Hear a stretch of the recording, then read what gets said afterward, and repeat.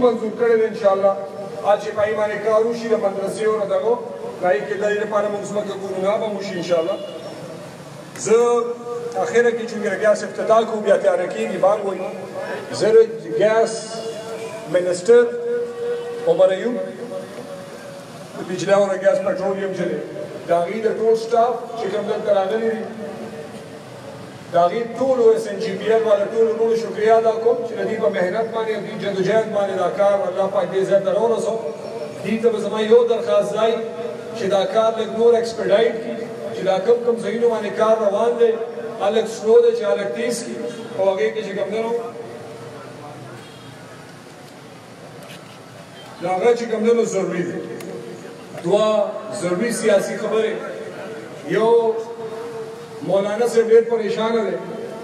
ځکه چې نوکری دی نوکری یې ختمه شوې ده نو هغه د اسلام په نوم اسلام آباد ته تلل غواړي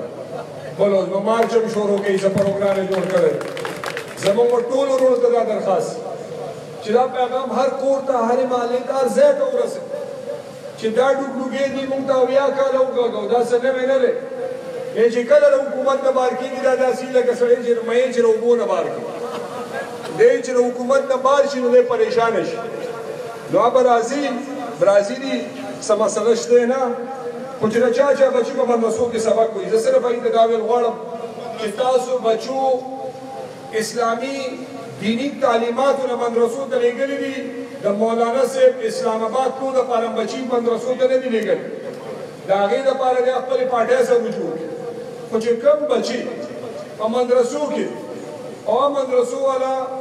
او دینی تعلیم په کې بالکل به کولی شي اې د پاره تاسو لګي خو کور اسلام آباد د پاره د لبوزي او دې لپاره چې یاره په هغې باندې جلسې، جلوسونه، تکلیفونه، نو زما ټولو ورونو ته دا درخواست دی چې خپل خپل بچي دغه ورځو نه چې کوم دی خپل خپل کور ته راوغواړه، ځکه چې ستا بچی مدرسې ته د مولانا فضل الرحمن صاحب د اسلام آباد ته رسېدو لپاره نه یې لېږلی، تا د هغه د دنیا او آخرت د بهترۍ لپاره لېږلی دی، نو دا شی ضروري دی. بل اخیرنۍ خبره کوم. د ایم پی او مشر وی را روان دی دلته په خلکو ګرځي او یو چاله په خپو پریوزي او چاله به کوم نه ګیره نیسی او زمونږ د مدني د لوکل کسان مسان نو دا ډوګډوګې خلکو او یا کاله اورې درې دا موږ چې څونه پسمانده پاتې شي دا عمر دغه خلکو د وجه پاتې شي دا چې څونه بربادي شوه دا دې د وجه شوه دا څونه نقصان چې د ثوابه او د پښتونخوا شوه د دې د وجه شوه دې خلکو له دې پښتنو نمبر ورکړو خو دې هغه پښتو په دوه دوه لکه په درې درې لکه او په پنځه پنځه لکه د ایزي نوټ په شکل کې چې کوم دی په خلکو خرڅه کړې ده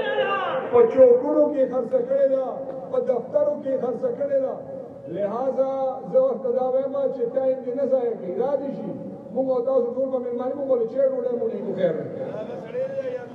او هغه سړی دی چې په یار حسین کې چې د کوم سپکه خوله دی ټولو خلکو پسې دی ثواب یې پسې خوځولې وه او کوم تحریک انصاف خلکو پسې او په میندو خویندو پسې خوځولې وه د هغه سپک سړی را روان دی د ده هماغه کردار دی صرف ټایم بدل دی نو زما به ټول وروڼو ته دا درخواست چې دغه پارټۍ کې څونه خلک دي هغوی له دعوت ورکړي او یې راوړی دی خپل پاټه ته او ان شاء الله مونږ کې پرون هم بلا شامل کړی وي ابل اوس هم کې پرون په وچ خړ کې ابل اوس چې ګمندنو په دولت کې د مختیار خان بلا کارکردګي او مهنت او په دغه کې چې ګمندن په ایم پی کې هم کې شامل کاین مخ کې او پر روانو ورځو کې به نور شامل وي ان شاء الله او ودرېږو به نه، دا دعوت به موږ نور تېزه کړو، دا یې وجه دا ده چې له دغې بیمارۍ نه مو خدای خلاص کړي، چې دې کله نه دې صحابه نه اخوا شوي دي، ایله موږ رڼا ولیده، ایله موږ ګیاس ولید او بجلي ولیده، روډونه مو لیدل، سکولونه مو لیدل، هسپتالونه مو لیدل، ترقي او خوشحالي، صحت کارډې مو لیدې. دي چي تر څو پوري په موږ باندي مسلط وو، نيستي وه، بدامني وه، بي روزګاري وه، اقربا پروري وه او يره بيماري وه، د وينو په شان يو بيماري په دي خلکو باندي په دي قوم باندي نښتي وه، نه يې نه له خدای خلاص کړو، نو صوابيوال نور نه دوکه کيږي. خو پخه دلته ډېره وه چې موږ ولې چې کوم دی ولې زه یې نه ورکړي تش دکان دی چشمې چولي څه به ورته ملاوېږي نه انشاءالله او دا چې څوک یې راغواړي همدغه یو څو پاتې دي دې سره عربې مربې ختمې انشاءالله دې موږ مخکې مقابله کړې ده بیا به هم کوو خو صرف دا ورته وایو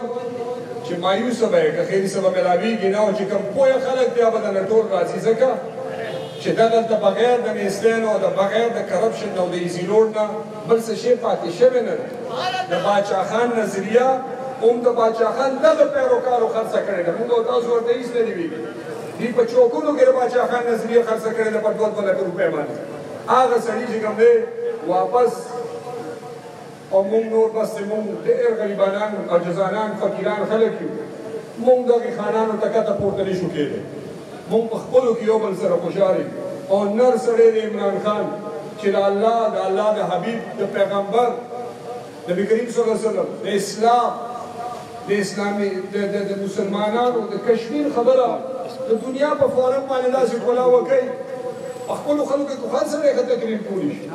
چې د غیرو په منځ کې ودرېږي او د حق او د سچ خبره وکړي، هغې ته لیډر وایي، دا موږ په اویا کاله کې نه وو لیدلی، دا خدای پاک ستاسو په ذریعه، ستا د ووټ په ذریعه باندې عمران خان راوستی او ان شاء الله نه د ستړی کېدو دی، نه د یرېدو دی،